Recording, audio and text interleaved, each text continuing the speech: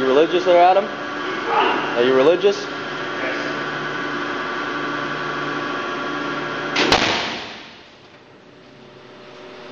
Something's